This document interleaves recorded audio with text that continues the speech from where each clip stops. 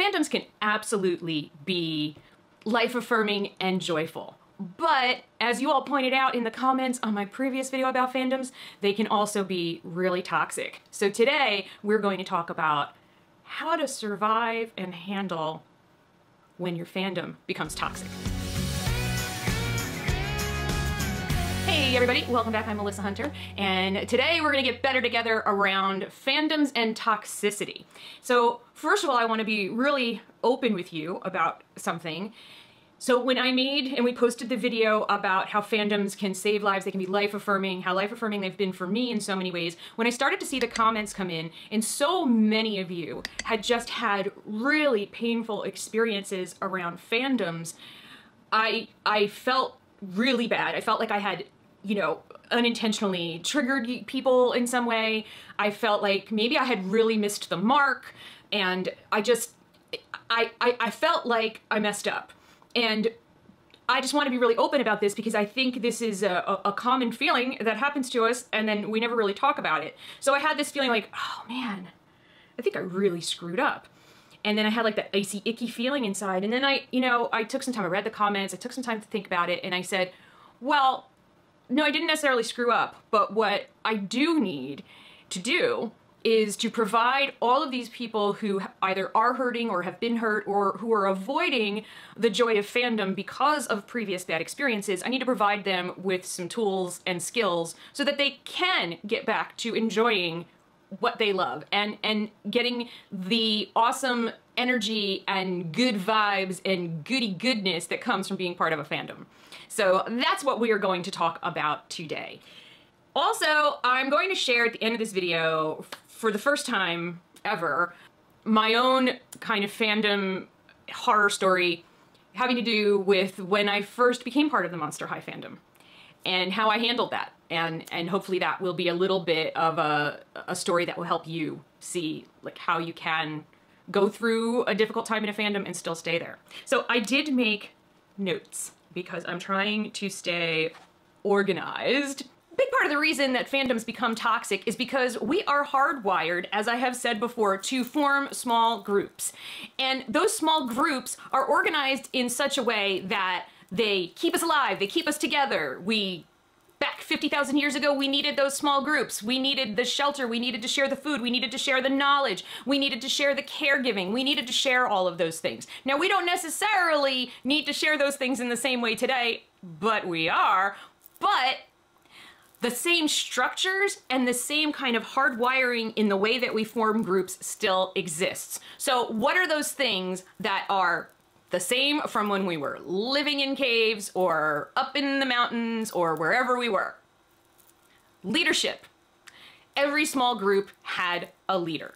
Now, sometimes that leadership was shared between, you know, top hunter and, uh, you know, religious leader of some kind. Sometimes it was shared between the elders of that small group. And sometimes it was just one person who was the strongest person and just won leadership by beating the snot out of everybody else. But leadership.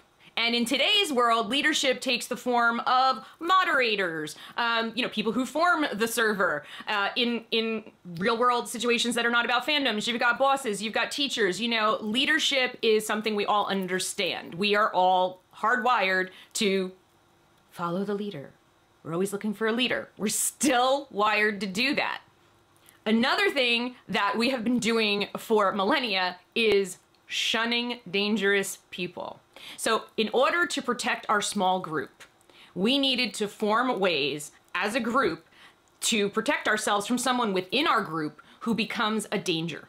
Like, how the heck does that happen? It just does. Sometimes somebody starts acting in a way or doing things that's harmful to the group. So going back back to my millennia ago cave analogy, hunter-gatherer society or whatever, maybe someone was not sharing all the food. Maybe they're squirreling away food just for themselves. That's a danger to the group. You are endangering the lives of the entire group.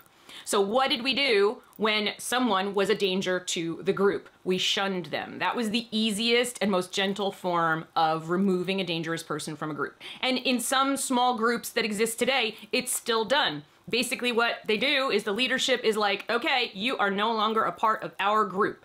And from this moment forward, we don't see you, we don't hear you, we don't share resources with you. And people literally will not look at the person, will not talk to the person, will not share anything with them. They're not violent about it, but they're just completely ostracizing a person from the group, which eventually leads to that person moving on because they need to go find a new small group or they need to try to go make it on their own, which nowadays, that's a lot easier to do. But during the Ice Age, not the easiest thing to do. Other ways we handled those things back in the day, just driving out. Like, look, we are just driving you out, we're running after you screaming, run, go, don't come back, go find someplace else. And sometimes those people would end up with another small group and everything would be great. But the goal was we cannot keep this person in the group because they are a threat in some way to our group. Now, nowadays, people on a Discord server, probably not a threat to the lives of the people in the group in most cases, but a perceived threat to the group is still handled the same way. I'm not saying we kill people, I'm saying we shun people, we ostracize people. That is hardwired into us as a behavior. It's what we do. Another thing is group think. We become a group of people who all think the same way. You're like, well, that's why we all came together. Is it really why we all came together? Or did we all come together over a shared love of something when we're talking about fandom? Now, when we're talking about living together in small communities during the Ice Age, we came together to survive, right? And so we formed in order to maintain the harmony and cohesiveness and cooperation of the group, we formed group think, which means we all thought the same way we, we all just shared the same set of, uh, we, we think about things the same way, we share the same values, groupthink, okay? So groupthink is something that we, as groups, do really well, but it can also become a really big problem. Rituals, like in the Monster High fandom, right? Every Friday the 13th, we made a big deal out of it because, you know, Monster High, Friday the 13th, right? Every fandom has some kind of ritual. Maybe it's that we all watch the Nintendo Direct together, or that immediately after Nintendo Direct, we're all gonna jump on the server and rip it apart, right? But we have rituals. We have ways that we do things. And that is a huge reinforcer of our identity as a small group, as a fandom. And these are the great things that help us form bonds, that help us form small communities. We are hardwired this way. They are also the things that can make things go really, really wrong. What the heck are we supposed to do? Well, I have five ways for you to avoid fandom toxicity and uh, to survive it and not let it ruin your experience. Number one, use the tools at your disposal. So when we're talking about online fandoms. And by the way, I'm gonna make a third video about in-person cons and how to handle that situation. But for purposes of this discussion right now, I'm talking about online fandom toxicity. Use the tools at your disposal. You've got block, you've got the ability to mute, you've got the ability to completely ignore a thread. It's going south, people are losing it, it's disturbing to you, it's riling up your emotions, stop reading it. Discord is getting out of control, take a break for a couple days. Let, let, let the negativity burn itself out. Go do something else. Do not engage. That is your number one best option. Do not engage in the negativity. Number two way to handle this is boundaries. Create ironclad boundaries for yourself. You should do this in all of your life, but in particularly in fandom. What the heck do you mean by creating boundaries? Boundaries are, and you can sit down and write this out if you need to for yourself. What are my boundaries within my fandom? Okay, so one boundary for me is I, I'm just not going to get involved in the negative discourse. Just not going to. I'm just, I'm not going to read it because it's going to upset me or or I'm going to feel a real need to just jump in there and say something. It's just better to not stir. I don't want to stir up my negative emotions. So in order to protect myself, I have set a boundary that said, like, if I see like a post that, I, mm, okay, that just from the title there, I know that's going to be a shit show. Mm -mm. I'm not going to read it. I'm just not going to read it. If I am in a thread about something and people start to get negative and nasty, I'm like, okay, peace out, not reading this anymore. Um, I unfollow people, I snooze people, I hide threads, I do whatever I can because my boundary is I want to enjoy my fandom and I do not want negativity in my life. It's your boundary. This is your world. You block stuff. You make the boundaries. Boundaries are extremely important in life. I will at some point do an entire video just about boundaries because this is so important in all areas of your life. To have really ironclad boundaries will make your life so much better. Number three, no gossip. What? What? What are you talking about? No, no, no, no, no, no. I must gossip. Okay, look. I love, duh, putting a past tense on that, gossip. I used to read all of the celebrity gossip magazines, back in my 30s when Perez Hilton was a thing. I was refreshing that stuff all day long. Love celebrity gossip. I also used to be, and a lot of you are going to find this kind of like, what? I just in general used to love gossip. And I would be like the kind of person, especially like in my 20s and early 30s, it was kind of like, if you don't have anything nice to say about someone, come sit next to me. Gossip is so toxic. Gossip is just, it, it's wrong, it's toxic. And but we get a little bit of a thrill out of gossip. And there are like some studies that have investigated how gossip actually before we've you know become modern and we don't need it to survive how the gossip situation helped us to survive as a species. And so it's still kind of in us and that's why we respond to it. But you know what? Like many of those legacy things that are in us we don't have to. We can exercise our our free will and and our boundaries and our skills, our social skills to not do it. Just don't avoid the gossip. Gossip is like the killer of of good fun fandom and then gossip is how fandoms become so toxic. Take a break from your fandom. When things like so with Supernatural things got really out of control around the second to last episode of the whole series and people started getting really really deep in the weeds nasty to the point where they were accusing actors of being homophobic. It, it, just, they were just, it got really unfun. And you know what I did? I stopped reading it. Stopped checking the tag on Twitter and Tumblr and Instagram, and I just took myself a little break. I let them do their thing. And then I came back a couple months later and it had died down and now we're back to just like, well, I really wish we still had Supernatural. Hey, I'm rewatching what season you. Do you want to do a watch party? Oh my gosh, I really love this character. Oh man, Charlie's awesome. Okay, so we got back to that. But sometimes you have to let like the toxicity burn itself out in a fandom and you need to walk away for a little while in order to let that happen. Don't be afraid to take a break it will be there when you come back. Or when you take a break from that server group, whatever, you might find another group where a whole bunch of people who hated that stuff have started a server for the happy people. And the happy people are over there now. That happens too. Tip number five. It's my favorite tip.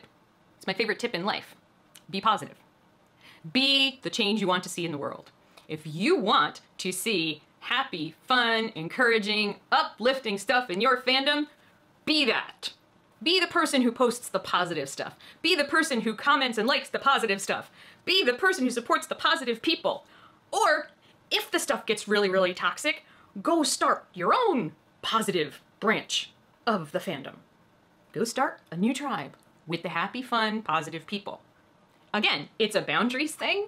There are actually more people out there in your fandom who want to just enjoy, embrace, have fun, share art, and do all of those things about their fandom in a positive, happy way than there are trolls. The problem is, is that trolls talk a lot, they post a lot, and they can kind of take over a fandom. So if that happens, go start a new positive branch of your fandom or go find the positive branch of your fandom. And if you have been liking, sharing, communicating with the happy, positive people, then you guys can do it together you know, I've I've done it. I've seen my son do it. You know, he's left servers where it was like, all right, me and the cool people are just gonna we're gonna just talk over here and build up a new server where the people are happy. Because the majority of people do want to love and share what they love. Remember, that's what we talked about. That's the life affirming parts of fandom.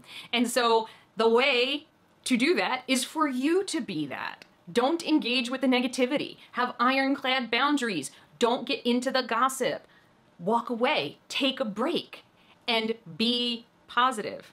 Be positive. Don't let trolls steal your joy. Don't let negative people steal your joy. And, you know, it broke my heart. There was a comment um, specifically about someone who used to post their art in their fandom and that people were really negative and nasty about their art. And that hurt them so deeply that they stopped drawing their fan art and now they only draw their own original stuff. So first of all, great that you're still drawing. But then I saw somebody else who had stopped drawing altogether. That's the kind of stuff that breaks my heart. And that's why I think it's really important for us to be the positive people, for us to be the change we want to see in our fandom. Because while people are bashing someone's art, you can be there lifting them up and supporting them. You can be that one person who is like, wow, this is really cool. I love the way you did that shading. You can support someone in a positive way without saying, okay, you haters all suck, blah, blah, blah. I totally disagree with you. That's not positive. Positive is just commenting on what you like about the art, what you think is really good, how, like, wow, you're so talented. I love the way you do hands. Be positive. Be positive. And then you can help steer your own experience of a fandom out of toxicity and back into joy.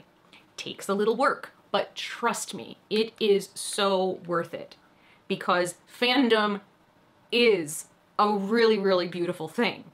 And I will say that as you get older, fandom does get a little bit easier because you develop, hopefully, in your adult life more of these skills and, and abilities. So I promised you that I was going to share with you my uh, worst fandom experience, and it was in the Monster High fandom.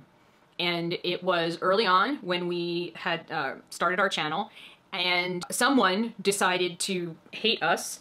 And not only did they, you know, make nasty comments, which I was able to like block them, but then they would create new accounts and I would have to block them again. But then they also started posting hate rants about us and about other Monster High um, YouTubers on YouTube. And I was like, the heck? What, like, and they were saying really hateful stuff. And I didn't know about it. So somebody messaged me and said, hey, FYI, this person is doing this. And I did what I should not have done. I went and watched it. And I let it get to me. And I was really hurt. I was very upset. I was very angry. I wanted to respond so much and uh, they said things about my kid. I was like, I was so.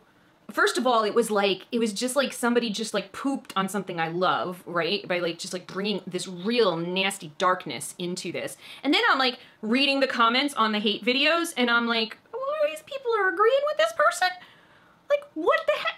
Ouch! Oh my gosh! And it just like it was like really, oh my gosh, it was really getting to me. And I was very, very lucky that another YouTuber contacted me, and they were way bigger YouTube YouTuber um, than I am. They actually contacted me, and they were like, "Hey, um, just wanted to reach out to you. I know you're new, and I know that you're probably freaking out about this. Um, I'm here if you want to talk about it. And the best way to handle situations like this is to just not engage and just don't watch it. Just don't, just don't, just don't feed the trolls." And um, it, was really helpful because I was so ready to feed that troll an all-you-can-eat buffet and because I was so mad. But I was so lucky that someone came in and brought the positivity back in. And and instead of saying, let's join together to like throw hate back at that person, this person said, hey, you know, it'd be awesome. Why don't we collaborate? On something together. And it wasn't in response to the hater. It wasn't like, hey, we'll show them by collaborating together. It was just like, hey, you know, we really love it too. Our kids are around the same age. It would be really cool if we collaborated together. Do you want to do that? And I was like, that would be awesome. Thank you. And so that person taught me how to ignore my haters. Um, and there now have been many over the nine years, and how not to engage, when to use, when and how to use the tools, um, and, you know, if if if somebody's you know outing your personal information, how to handle that, you know, with the the proper um, you know, authorities of the different, you know, whatever system you're on, if it's YouTube, Instagram, Discord, Tumblr, whatever, you can report people for stuff like that. Um, and, and just how not to let it steal my joy. And I was so grateful for that because it really was there for a little while, really stealing my joy away from this thing that had been in so many ways like life affirming and and like a rebirth for me. And this thing that I was doing with my kid and it was so awesome. And like I said it was like this person just came and took a big dump on it. And it really really hurt and it upset me and I wanted to fight back. But I am so glad that I didn't. Because you know what happened? They just went away. I don't know what they went on to. I don't know what their next, you know, mission in life was, um, but they moved on. Whereas if I had fed the troll, it would have become a really different and ugly situation.